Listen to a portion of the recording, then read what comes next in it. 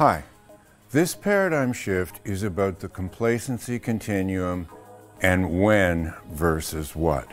It's only natural to think about what somebody was doing if they get hurt, but there really isn't much of a pattern for what, because if you think about it, we've all been hurt doing pretty much anything. Whether it's walking, running, driving, riding, cooking, you name it, we've all said ouch or something worse way too many times.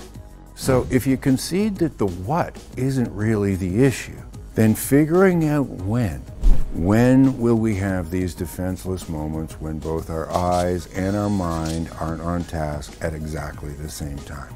Figuring out when becomes the crux of the matter.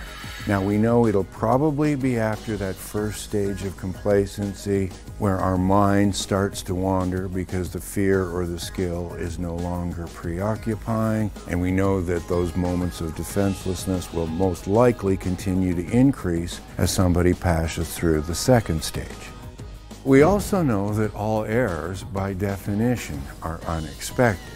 However, the states that cause the critical errors are actually quite predictable.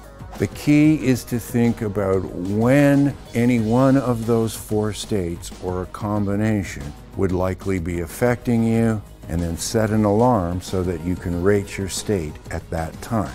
And that way you can also think about the intensity of each of those states and how the combination of those states could affect the overall risk.